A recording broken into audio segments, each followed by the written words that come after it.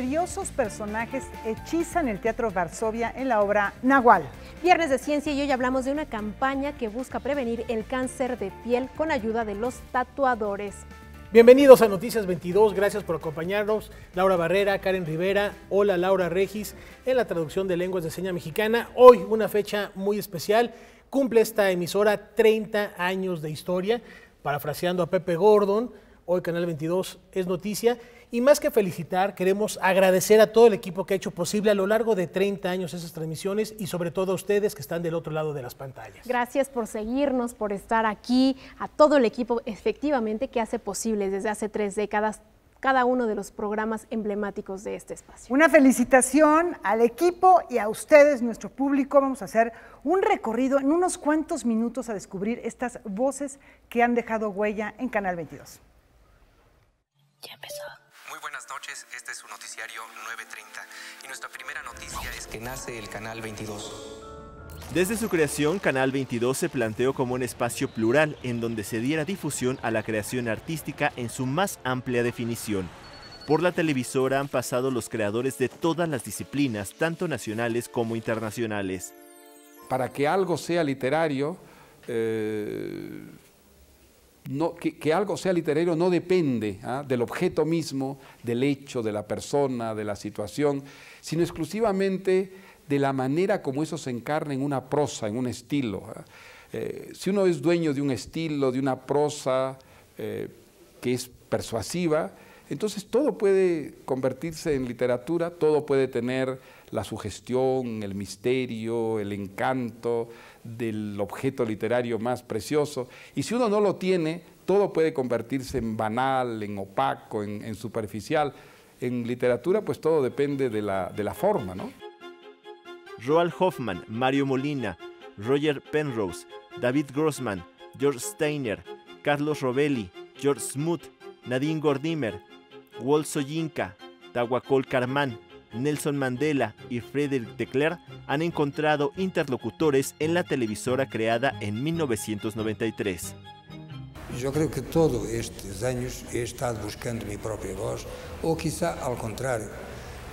Quizá haya sido minha voz que estava esperando tranquila que eu llegara a ella. Porque em nenhum momento eu estou consciente de que estava buscando uma expressão particular que me fuera própria, uma forma personal, tudo isso. Elena Poniatowska, Fernando Sabater, Octavio Paz, Carlos Fuentes, Fernando Vallejo, Amos Oz, Saúl Yurkiewicz han compartido sus reflexiones en los distintos programas de la televisora. Siempre he pensado que todo poema es una forma de oración, porque está pasando a la otra orilla de lo desconocido, trasladándose a un mundo de misterio, de lo innombrable, y siempre queda flotando una zona oscura, una tiniebla, un misterio, como es la oración. Eh, eh, la presencia de lo sagrado en, la poesía es siempre la gran prueba. Mientras no se sienta, eh, algo está fallando y el poeta está mintiendo seguramente. Y bueno, el poema es el testimonio absoluto en el poema se juega el ser completo, entero. Ahí no hay redes, eh, es trapecio sin red. Por eso es tan peligroso y por eso se hace tanta poesía mala también. ¿no? Yoko Ono, Spencer Tunick, Ai Weiwei y Leonora Carrington son algunos creadores de las artes plásticas que han compartido su trabajo para el público que sigue la señal en México y Estados Unidos me hubiera gustado haber sido otra cosa que no sea un artesano, un pintor, este, no sé, haber estudiado un poco más para poder ser, pues no sé, algo como un antropólogo, un investigador de las culturas o un lingüista, bueno, la, las lenguas sobre todo. La, la, nuestra, la del zapoteco del Istmo, pues siempre me ha intrigado, me ha gustado eh, estudiarlo a través de, bueno, hay dos o tres vocabularios, eh, diccionarios, uno del siglo XVI de Córdoba y otro de, la época de Don Porfirio, que llaman el vocabulario zapoteco del centenario. Y bueno, y ahí se puede uno ir hacia atrás y, y comparar con lo que se habla y como las raíces ahí están. Entonces es muy interesante. Eso me gusta mucho, pero pues no, no siempre tengo tiempo. Canal 22 ha estado presente en la mayoría de los festivales, desde el que se realiza en un pueblo de la Huasteca hasta los de talla internacional como el Festival Internacional Cervantino. Hasta Guanajuato llegó Teresa Salgueiro para presentar su disco La golondrina y el horizonte, en el cual retoma canciones mexicanas. Me puse a buscar yo canciones que tuvieran mm, más que ver conmigo, ¿no? O, canciones que hicieran sentido, porque hay cosas que no hacen sentido, eh, que me gustan mucho, y que como hacía, eh, por ejemplo, he hablado del caso de José Alfredo Jiménez, que es un autor increíble, con músicas bellísimas, pero que son muy masculinas o porque, ¿no? Y que por alguna razón, por algunas, no hacía tanto sentido que las cantara yo, ¿no? Entonces era el cuidado también de cantar canciones que yo sintiera que, ah, que, se convierten en verdad, ¿no? cuando yo las canto. Eso es lo más importante siempre. Eh, la elección de la música, que me, que me guste la música, que me dé gusto en, cantar y que me dé gusto sobre todo a decir esas palabras que digo. El arte en movimiento ha estado presente no solo con las grandes compañías de danza, sino también con ejecutantes como Elisa Carrillo, Isaac Hernández, Julio Boca y Alicia Alonso, quien se sinceró al hablar sobre ser creador en un país como Cuba. Es duro y es fuerte pero nuestra imaginación entonces nos hace crear de cualquier cosa, podemos sacarle partido, podemos pensar una cosa positiva. De un pedacito de tela le sacamos algo. Eh, bueno, e, esto va a servir para tal ballet, para tal eh, escena. Esto, y la imaginación crea, la inteligencia crea, no armas para matar, sino cultura para crear. Los fenómenos sociales que despiertan cantantes como Madonna, Britney Spears y Sting también han sido atendidos por Canal 22. Everything in my work is very um, organic. There's reasons why it's the way that it is. I, I don't think in terms of how people may think of me or perceive me because I look outwards. And I think at some point it was natural that all of those experiences of mine fused together and created what is my very own individual style. Lo mismo bandas como Corbux Corax, El Tri, Buena Vista Social Club, Peter Murphy, Plácido Domingo, Luciano Pavarotti, Winter Marsalis, Lila Downs o agrupaciones del rock gótico como Human Drama que antes de disolverse pasaron por nuestra pantalla.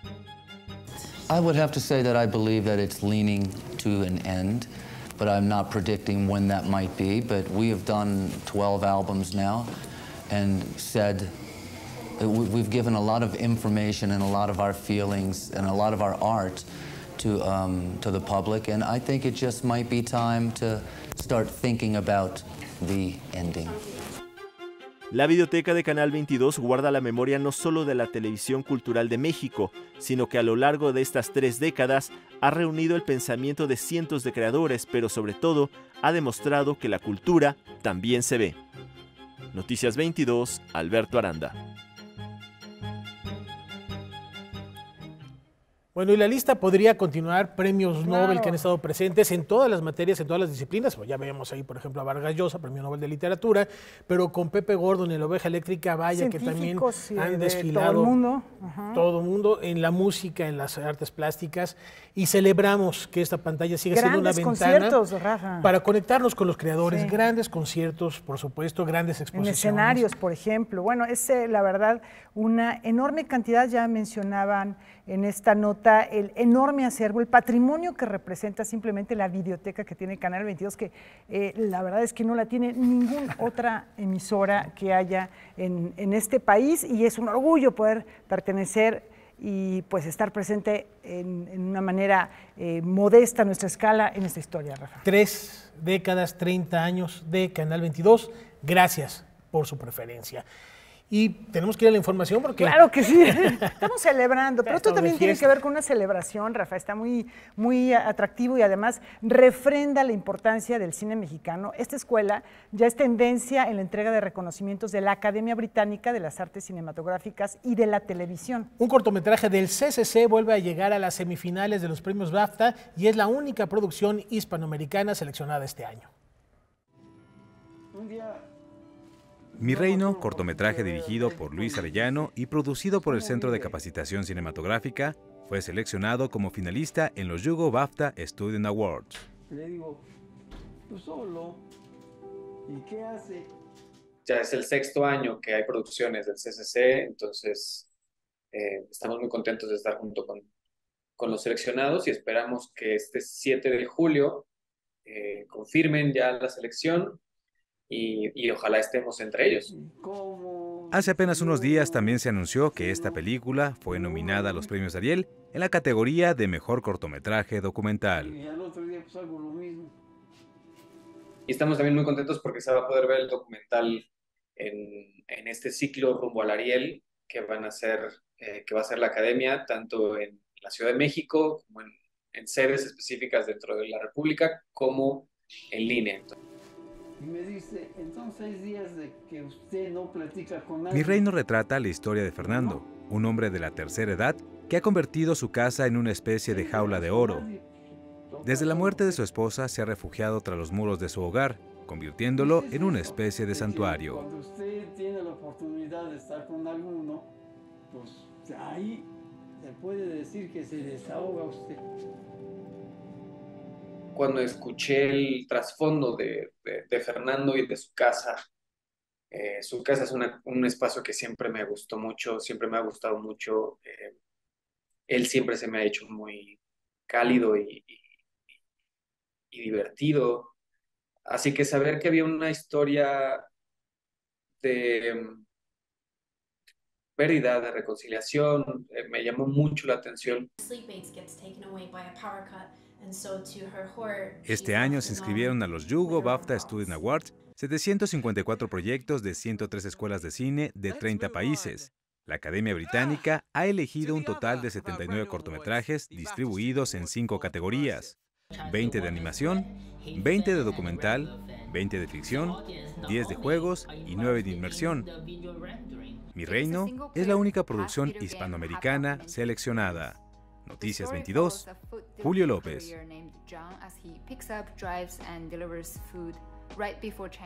Tenemos eh, al regresar teatro, por ejemplo, danza, muchas cosas. Y ciencia, no se muevan de sus lugares. Regresamos a Noticias 22.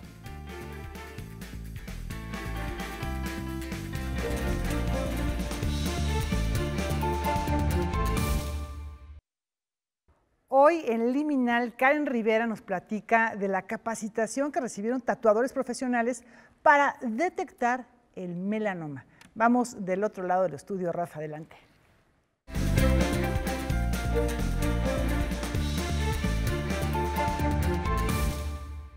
Gracias, Laura. En efecto, Karen, otra vez, buenas noches. Buenas noches, Qué interesante propuesta, porque algo que se piensa en el panorama de la estética, que eh, nos traes estadísticas también de cuántas personas se tatúan, y eh, ahora tiene también un vínculo con una cuestión de salud. Sí. Y una, salud, una cuestión también muy preocupante porque también va en incremento el cáncer de piel. Tiene que ver con las campañas preventivas, eso sí, Rafael. El cáncer de piel precisamente es el segundo más frecuente en México y diversos factores son los que inciden en el desarrollo de este problema de salud pública. Uno de ellos es la exposición al sol, a los rayos del sol por un periodo prolongado de tiempo. En el contexto de estas olas de calor que nos están abrumando a muchos y también de que junio es el mes del cáncer de piel, pues diversas instituciones se suman a una campaña que busca prevenir esta enfermedad con ayuda de los tatuadores. En México, uno de cada 10 habitantes tiene un tatuaje. Esta actividad de imprimir dibujos, textos o formas en la piel va en aumento a nivel mundial. En este contexto, la medicina busca involucrar a tatuadores profesionales para detectar de forma oportuna el cáncer de piel, particularmente el melanoma. La Sociedad Mexicana de, Cirugía Dermatológica se encargó de entrenar a un grupo de tatuadores que hoy estamos viendo que es una población eh, que está en riesgo, las personas que se quieren eh, eh, colocar un tatuaje y que vemos que son poblaciones jóvenes y que creen que por la juventud no van a tener que padecer este tipo de cánceres, o bien también en aras de la estética, estas poblaciones que se exponen más al sol, están más en la playa. El melanoma se origina cuando las células que dan pigmento a la piel de los seres humanos, es decir, el color bronceado o marrón, conocidas como melanocitos, comienzan a crecer fuera de control y se extienden o propagan por el cuerpo. Aunque este tipo de cáncer de piel es menos frecuente que otros, es el más peligroso, ya que es responsable de 75 de cada 100 muertes por esta causa. A partir de esta alianza que hicimos con, con, con los tatuadores, lo que les estamos diciendo es, ustedes están viendo la piel de todos los pacientes, la ven de forma frecuente cada vez que van a tatuar a una persona. Ayúdenos a detectar oportunamente estas lesiones y ayúdenos a referirla de forma temprana con los dermatólogos. Busca el punto. Que el cáncer no deje huella en tu piel es el nombre de esta campaña en la que participan instituciones de salud como la Sociedad Mexicana de Cirugía Dermatológica y Oncológica. La iniciativa preparó a los tatuadores a partir de la regla ABCDE de los signos comunes del melanoma. Es decir, estos profesionales pueden identificar en sus clientes si un lunar o una mancha tiene asimetría, bordes desiguales, color no uniforme, diámetro mayor a 6 milímetros, y evolución, tamaño o forma cambiantes. Al final el diagnóstico es una, una biopsia, que esa la hace el especialista, el dermatólogo, pero la sospecha de la lesión la podría hacer una persona bien entrenada. En esta primera etapa se entrenaron a 10 tatuadores que se encuentran distribuidos en todo el país y se espera que se sumen próximamente más profesionales. Noticias 22, Karen Rivera. Una campaña sumamente interesante, Karen, porque también cuando eh, se piensa en tatuajes hay que ir con profesionales. Esto es fundamental. Ahorita vamos a hablar de, no exponerse al sol, que es la prioridad y es el tema que da eh, pie a este reportaje que nos compartes, pero también cuando uno se quiere hacer un tatuaje, ir con gente autorizada para que el material, los instrumentos estén esterilizados y evitar otro tipo de complicaciones. Otro tipo de complicaciones, pero ya si el tatuador conoce cómo o sabe cómo identificar alguna señal que puede ser eh, o que puede provocar cáncer de piel, pues mejor aún, ¿no? Eh, es importante, Rafael, decir que este cáncer no tiene síntomas, es un cáncer que no produce ningún síntoma, pero si tienen más de 50 lunares o una manchita que detectan que va creciendo, que va evolucionando, que se transforma en costra o se queda muy roja, eso puede ser una señal de alarma. Entonces, esto es lo que saben identificar los tatuadores, sobre todo porque ellos hacen estas figuras, estas expresiones, estos dibujos en diversas partes del cuerpo y el melanoma se, eh, de alguna manera se manifiesta en cualquier parte del cuerpo y se puede también extender a otras partes, no solamente en la piel. Eso es lo preocupante de esta enfermedad. Ahí está la, prevención y qué bueno que con un recurso como estas campañas de concientización y capacitación a los tatuadores se está abriendo una puerta nueva. La prevención, ante todo. Pero ¿cómo buscamos la prevención? Esta es una de las maneras, ¿no? ¿Cómo estar cerca de la sociedad? Bueno, pues la sociedad que decide tatuarse, que es un gran porcentaje, ya escuchábamos, son 10 de cada 100 habitantes en México por lo menos, este, pues aquí tenemos una oportunidad y ojalá de verdad se sumen más tatuadores. Esta primera, esta primera campaña incluyó a 10, pero me decían que ya hay más profesionales que se quieren sumar y que quieren aprender a hacerlo, me parece que es maravilloso. Y cuidado con el abuso excesivo a la hora de tomar el sol. Los bronceados, las playas, sí, es un periodo prolongado de tiempo, hay que, hay que cuidarse bien, hay que ponerse bloqueador solar. Sí, más allá de la estética está la salud. Primero, ¿cómo ves, Laura? Le preguntaría a Karen que eh, si nos están viendo algunos tatuadores, ¿a dónde se pueden dirigir si tienen interés en participar en esta campaña? Mira, lo importante es que pueden, en, su, en internet pueden googlear la, la campaña Busca el Punto si ustedes googlean, busca el punto, campaña eh, para detectar cáncer de piel con ayuda de tatuadores, ahí aparecen, porque son diversas instituciones, Laura. Entonces, lo importante es que si, si así le ponen, busca el punto, les va a aparecer la campaña y ahí aparecen todas las instituciones a las que pueden acudir. Bueno, pues es una gran idea. Eh, si nos están viendo, conocen a alguien o van a ir a tatuarse, bueno, pues inviten a su tatuador a que se una a esta campaña y seguramente podrá hacer mucho bien a personas que no han detectado que tienen alguna irregularidad en su piel y que pudiese ser un melanoma. Muchas gracias, Karen. Gracias, Laura. Bueno, pues continuamos con esta información. Fíjense que la Ciudad de México y la Gran Manzana tienen algunas cosas en común. No todas las coincidencias entre estas grandes urbes son positivas. Vean por qué.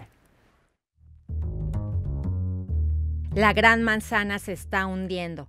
Los 777 kilómetros cuadrados que abarcan la ciudad de Nueva York soportan 762 millones de toneladas de concreto, cristal y acero, según estimaciones del Servicio Geológico de Estados Unidos, sin incluir las instalaciones, accesorios y muebles dentro de los millones de edificios en la urbe, ni la infraestructura de transporte que los conecta, ni los 8.5 millones de personas que los habitan. De acuerdo con un reporte de la BBC Future, la presión de todo ese peso ejercida por los edificios de la ciudad tiene un extraordinario efecto en la tierra en la que están construidos, que se hunde entre 1 y 2 milímetros cada año. Al fenómeno se añade el aumento relativo de 3 a 4 milímetros del nivel del mar al año, lo que agudizará los problemas de la ciudad costera, advierten los expertos. Nueva York sufre hundimientos desde la última edad de hielo, pero hoy por hoy, como las capas heladas han desaparecido de algunas tierras en la costa, estas se están expandiendo, mientras que otras partes de la masa terrestre costera, incluido el trozo en donde está la ciudad, parecen estar asentándose. De acuerdo con un experto del Centro de Ciencias Marinas y Costeras del Pacífico de Estados Unidos, esto es un fenómeno que afecta a ciudades costeras de todo el mundo, las que experimentan incremento de sus poblaciones, migración, aumento de urbanización y que por otra parte enfrentan mares en crecimiento. Como consigna BBC Future, la dimensión de la infraestructura humana que presiona la Tierra está jugando un papel determinante, pues en 2020 la masa de objetos creados por el hombre superó la de toda la biomasa viva. Y la ciudad que se hunde con mayor rapidez es Yakarta, en Indonesia. De acuerdo con los estudios, si los índices de hundimiento continúan, las ciudades costeras se verán afectadas por graves inundaciones mucho antes de lo previsto. Y atención, el estudio indica que, aunque no es costera, la Ciudad de México se hunde a una asombrosa velocidad de 50 centímetros al año, como resultado de que los españoles colonizadores drenaron sus acuíferos. Así es que, si no quieren tener una pérdida masiva de infraestructura y de capacidad económica en unas pocas décadas, los gobiernos deben preocuparse y comenzar a planificar ahora mismo, afirmó uno de los autores del estudio. Para Noticias 22, Katia León Monterrubio. Ahora invoquemos a seres mitológicos y sigamos nuestro nahual hasta el foro del Teatro Varsovia. Historia, música y una iluminación mágica es lo que podremos presenciar con Nahual, una puesta en escena de Vicente Silva sobre el escenario. La música también dio muchas directrices, es muy, muy, muy bella la música, y no solamente bella, sino fuerte, muy estimulante y muy ensimismante, ¿no? O sea, eh, subyugante. O sea, realmente entre la música, el movimiento, la iluminación, los cuerpos y todo lo que ves en escena eh, eh, llega a ser subyugante. Nahual nace de los recorridos e investigaciones que realizó Vicente Silva por diversos estados del país. Es la búsqueda del espíritu y la grandeza de quien levantó las civilizaciones prehispánicas.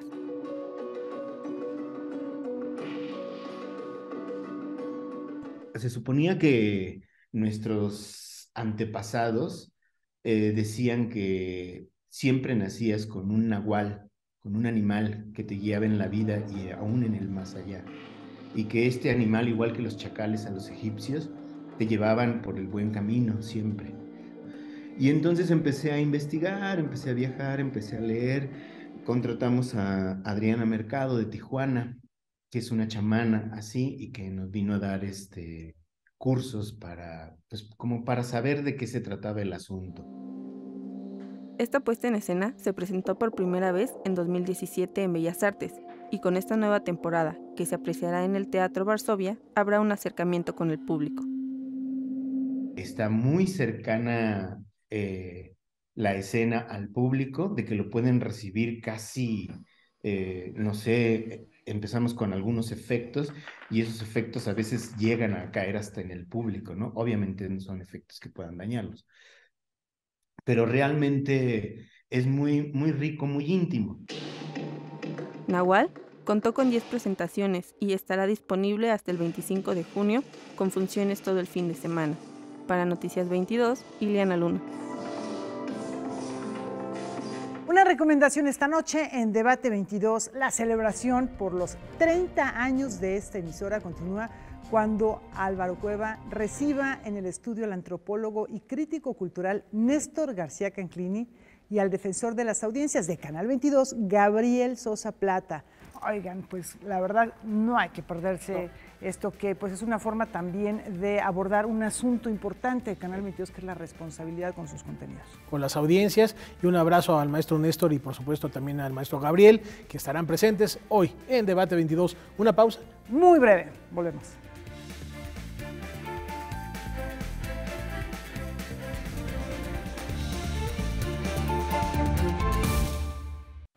Una de las más arraigadas tradiciones del arte popular también es una puerta para sensibilizar sobre la inclusión y el respeto.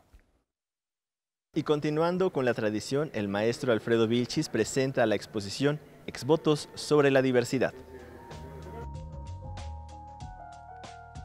El exvoto es muy, muy socorrido porque es parte de uno mismo.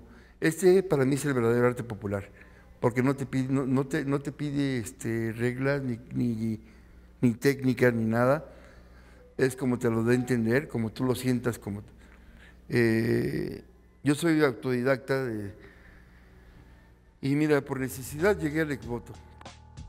La muestra reúne 50 exvotos y un cuadro en donde Vilchis plasma las historias que leen los periódicos o que le cuentan la propia comunidad LGBT simplemente, mira, yo quiero, quiero dar gracias de que Joaquín regresó conmigo después de que me decían que ya no iba a volver, que porque pues tenía otra persona. Y dice, este, y aquí quiero dar gracias. ¿Que, ¿Qué crees? Que, me aceptó y se vino a vivir conmigo y vivió muy feliz. Y todo eso es parte de esto. Otro porque por el amor, ¿no? Soy feliz con ella y nunca encontré el amor en nadie como con ella. Y todo eso te, da, te da, te da este, la pauta, te da la inspiración para seguir buscando historias. En la actualidad y personal, mamás que vienen y me piden que haga un retablo con la Virgen de Guadalupe, decirle que proteja a su hija, que ella es, lésbica y que es su hija y ella la ama y la defenderá contra todos y contra todos. Le pide a la Virgen que la, que la cuide donde quiera que ande. Y por la decisión que tome Ah, sí, claro, sí, con mucho gusto. Eso es, esa es la libertad, ¿no? como digo, hay veces que yo digo así, pues cada quien su vida, ¿no? Y cada quien la vive.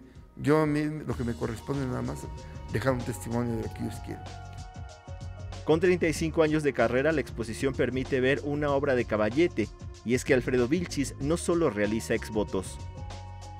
Esto lo hice especialmente para esta exposición y más que nada para darle gracias a él, a San Sebastián, por toda la gente que ha confiado en mi trabajo.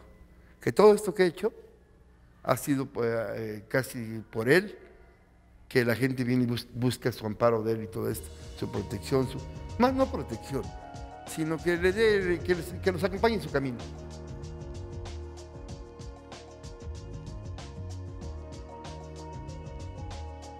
Exvoto sobre la diversidad va a estar aquí en el Museo de la Ciudad de México. No se la pierdan. Informaron para ustedes Saúl Nieto, Juan Manuel Arcos y Alberto Aranda. Ante preocupantes estadísticas en México, la Fundación Alas Soñando Mariposas nos invita a prevenir las violencias en la niñez. México ocupa el primer lugar en abuso sexual infantil a escala mundial de acuerdo con información de la organización Aldeas Infantiles SOS. Por si eso no fuera suficiente, la OCDE sitúa a nuestro país en el penoso primer lugar en explotación y trata de menores de edad, así como en la creación y distribución de pornografía infantil. Una situación alarmante que ha motivado el surgimiento de iniciativas para hacer frente a las muchas formas de violencia a las que está expuesta la niñez en México. Tal es el caso de ALAS, Asociación Civil Soñando Mariposas, fundada por la actriz y activista Vivaldina Haubert. Nosotros en Alas AC Soñando Mariposas trabajamos para prevenir los diferentes tipos de violencia en la niñez, la psicológica, la emocional, la física, la omisión de cuidados y, claro, el abuso sexual infantil. Desde hace años, Alas AC ha advertido la existencia de los llamados movimientos de orgullo pedófilo, que han cobrado fuerza en nuestro país y anualmente buscan integrarse, sin éxito hasta el momento, en la marcha del orgullo LGBT, es decir, buscan aprovecharse de las conquistas históricas del movimiento para legitimar como preferencia sexual lo que a todas luces es un trastorno psiquiátrico. Desde 1997 nacen los movimientos activistas de orgullo pedófilo. Lo que ellos argumentan es que también son una preferencia sexual.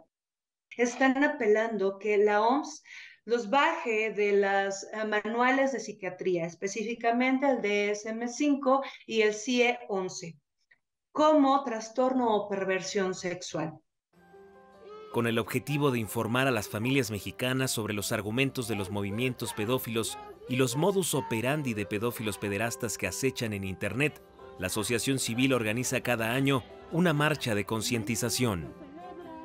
Cada 24 de junio salimos a levantar la voz contra este tipo de movimientos y convocamos a la marcha de los papalotes. Salimos del Centro Cultural Alas AC Soñando Mariposas y transitamos con nuestros niños activistas gritando las consignas para informar a los eh, transeúntes y a los automovilistas sobre este tipo de movimientos.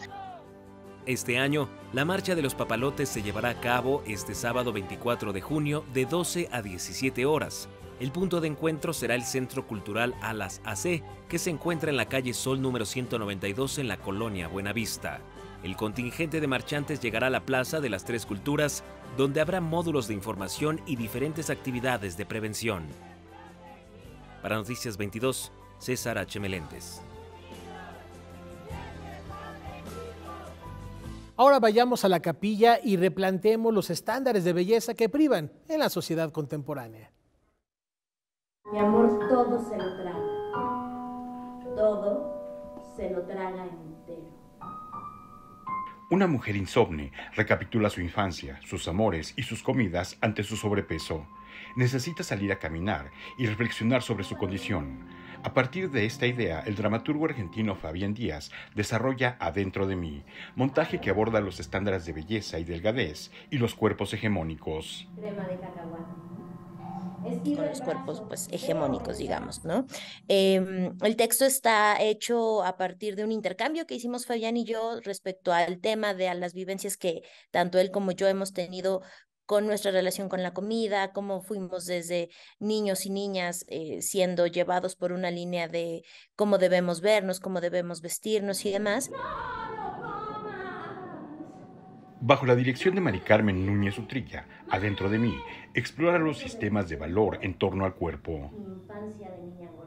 Que más allá de una mercadotecnia del body positive o del amor propio, no hay nada como tener bien claro quién eres, en qué funcionas, en qué sistemas funcionas, en qué sistemas te mueves y qué elementos de discriminación hacen que no puedas ejercer plenamente tu simple estar en la vida, ¿no?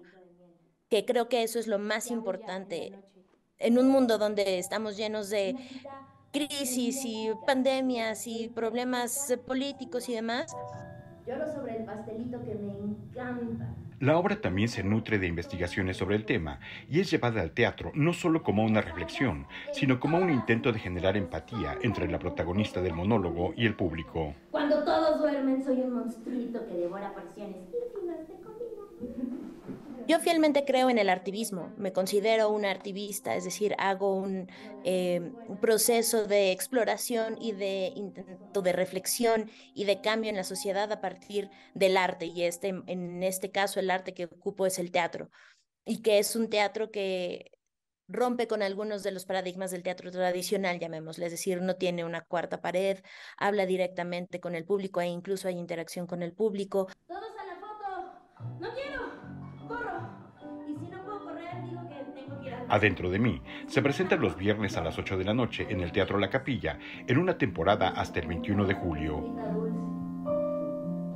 Noticias 22, Víctor Gaspar. Pelos negros llenos de caramelo de tus dedos gordos. La invitación, como cada semana, es a seguir Noticias 22 también en nuestras redes sociales. Preparen su escáner de códigos QR y vean a continuación parte de los contenidos que pueden disfrutar en estas plataformas. Seguramente has visto varias películas donde el tema central es el atraco de bóvedas de banco. Por ejemplo, La Casa de Papel, Rápido y Furioso, Ejército de Ladrones, entre otros. Pues déjame decirte que en el Museo Banco de México puedes conocer el interior de una e incluso tomarte muchas fotos. Bienvenidos al sótano del museo. Aquí tenemos las bóvedas, es el espacio más emocionante de la visita y aquí en las bóvedas es nuestro espacio más íntimo. Vamos a poder vivir experiencias increíbles. Las paredes que son, están recubiertas de estas placas de acero que nos sirven también a su vez como pantalla para la experiencia inmersiva. La puerta de la bóveda es de material de acero eh, y también tiene pues otro tipo de materiales y lo más importante es el mecanismo de seguridad tan sólido que tiene.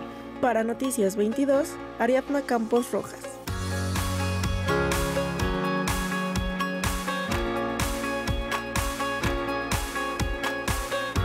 Antes de la pausa, para que vayan alistando su agenda, les tenemos algunas recomendaciones. Ya comenzó la breve temporada de la ópera Asis Galatea y Polifemo de Händel en el Teatro de las Artes del Cenar. Disfruten de esta serenata cantada en italiano a tres voces bajo la batuta de Christian Goemer el sábado a las 7 o el domingo a las 8 de la tarde.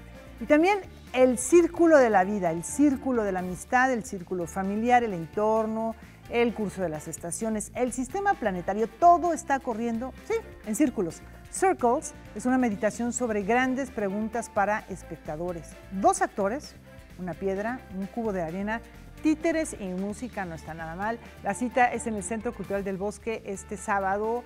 Eh, hay cuatro funciones a las once y media, 12.30, 13.30 y 14.30. Y bueno, pues lo más interesante, Rafa, la entrada es libre y es una buena oportunidad para poder meditar, reflexionar acerca de nuestro lugar en el mundo. Ahí está la invitación, una breve pausa y tenemos más al volver aquí en Noticias 22.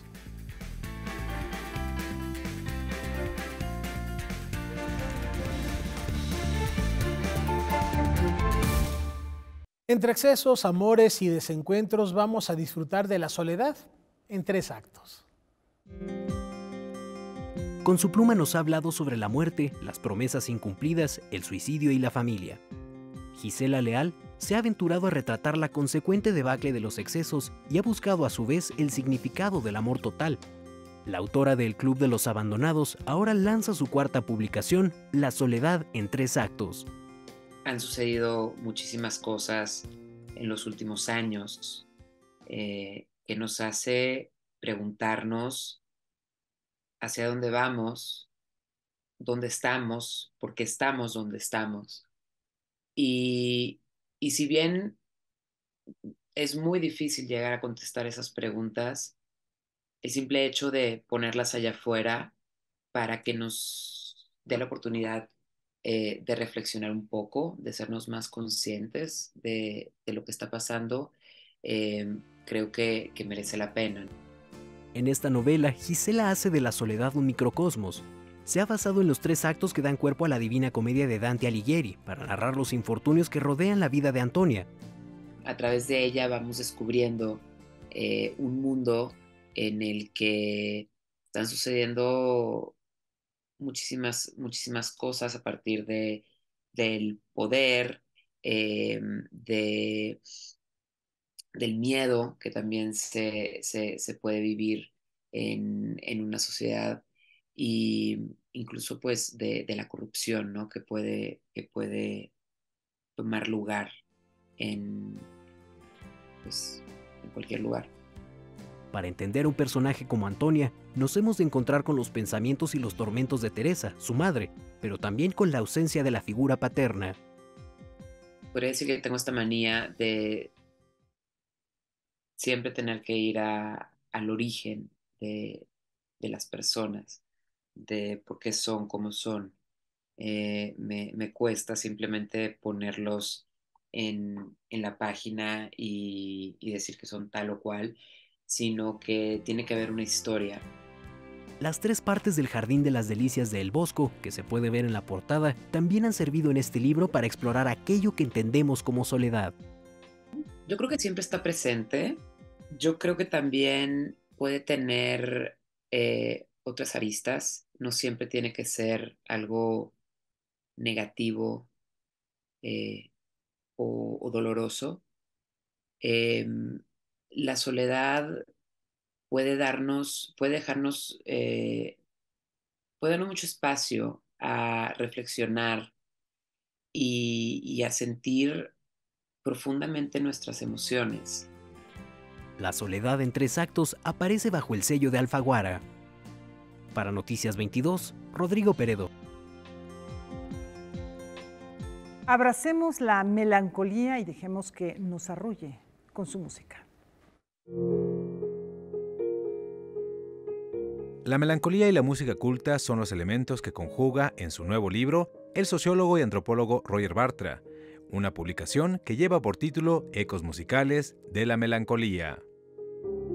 Resulta que la melancolía también influyó poderosamente en la música y muchos músicos eh, utilizaron la idea de la melancolía para expresarla en sus composiciones.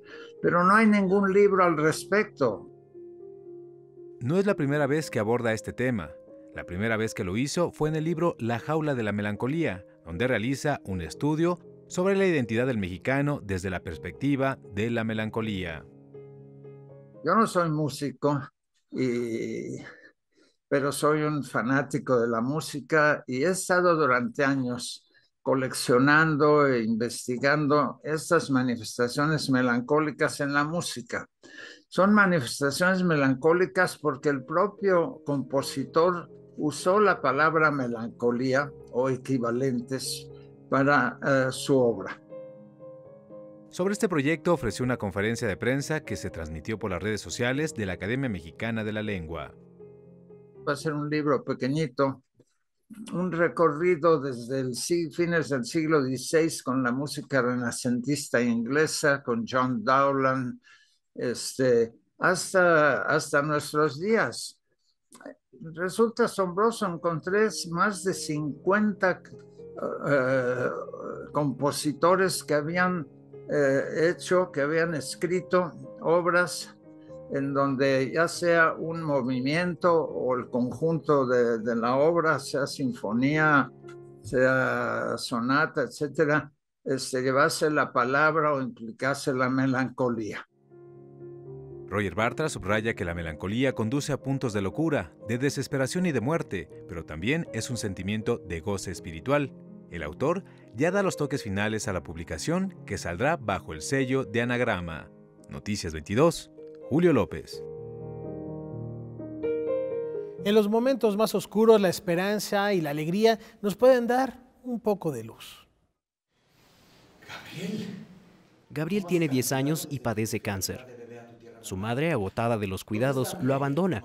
El niño se ha de encontrar entonces con Antoine, un reconocido cineasta que también es su padre adoptivo, y juntos convivirán hasta el último día. Esta es la premisa de Tierra Oceana, una pieza escénica de Daniel Danis que retoma la compañía Los Endebles, con la traducción y dirección de Boris Schoeman. Siempre me pareció un texto increíble, muy difícil de escenificar porque es una novela dicha. Tiene un formato muy extraño a nivel dramatúrgico para empezar y trata una temática eh, que tal vez me dio un poco de miedo al principio. Suena a una historia muy triste, pero todo en la obra sucede con muchísima vida, con muchísima alegría, eh, reencontrándose desde la ternura, padre e hijo, sabiendo cómo es eso de ser eh, hijo para un padre que no has visto nunca. Antoine, Antoine llevará a Gabriel a casa del tío Dave, un leñador y chamán que también será parte clave en este viaje de acompañamiento al fin de la vida. Antoine es interpretado por Antonio Araiza, el propio Boris Schoeman encarna al tío Dave y Emanuel Lapín a Gabriel. Los actores siempre tenemos que encontrar ese sentido humano que tiene cada uno de los personajes. Y en este caso con Gabriel, a mí a lo que me lleva y a lo que me evoca todo el tiempo es a mi niño interior. ¿Cuál es el lenguaje de, de las infancias? ¿Cómo, ¿Cómo puedes hablarle a un niño que además está enfermo, pero que además quiere vivir con, con toda alegría, esperanza y fe los últimos momentos de su vida? Todo esto desde un lugar súper poético, que es una de las grandes eh, cosas que tiene esta obra. Sorpresa de la noche. Esta no es la primera vez que Boris Schoeman acude a la obra de Danis. Comparte una cierta cercanía con él, pues ambos realizaron una residencia de traducción en Canadá en 2001. Una llama continua de un quemador, dos rostros en la Y desde entonces no he parado de traducir y de montar obras suyas. El canto del dime dime, Kiwi, eh, otra, El puente de piedras y la piel de imágenes que pudimos lleva- llevar a Japón, a, a Canadá, a Rusia. O sea, es un poeta, es un dramaturgo tan universal que sus obras funcionan perfectamente en cualquier país. Tierra Oceana se presenta en el foro A Poco No, de miércoles a viernes a las 8 de la noche, los sábados a las 7 y los domingos a las 6, hasta el 2 de julio. En el mes de octubre, la compañía Los Endebles llevará esta pieza a Tijuana y a Mexicali. Para Noticias 22, Rodrigo Peredo. Ya casi nos vamos y seguimos celebrando este 30 aniversario de Canal 22, Rafa, con una gran programación, como siempre, pero especialmente en esta celebración. Los eh, invitamos a que se mantengan en sintonía y, ¿por qué no? Vamos por otros 30. Muchas gracias y los vamos a dejar, como es costumbre, con la cartelera. Buenas recomendaciones, disfrútenla, muy buen fin de semana.